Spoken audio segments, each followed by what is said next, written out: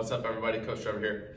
So today in this video, we're gonna go over a soft stagger stance dumbbell row. You can be with the kettlebell too, or even with the barbell if you want.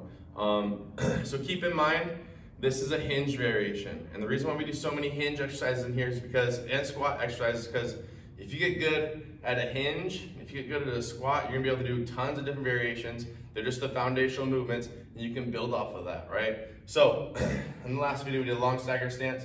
This one's gonna be a soft stagger stance, okay? So, abs nice and tight. It's basically a hinge variation. Boom, a bent over row, like single-sided, uh, single dumbbell bent over row with a soft stagger stance, okay? So this foot, as long as it's not fully extended, this I clarify this as a soft stagger stance.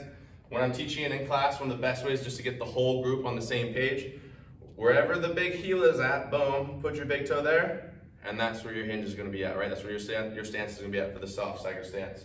So, heel, big toe right there at the edge right there. So abs on tight, boom, you're gonna hinge, create tension, pull the weight back here, isometric loading here. You can go heavy on these guys. It can be supported or unsupported, right?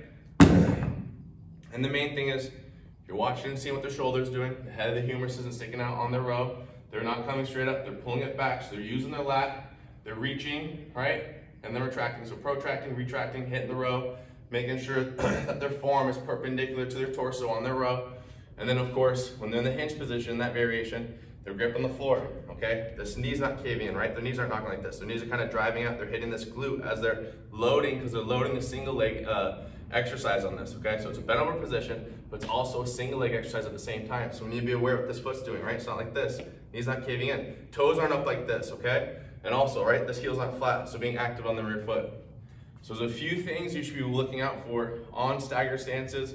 Or and remember, if you realize, okay, this is a single leg exercise, they're gripping the floor, they have the right positioning, they feel in the right muscle group, right?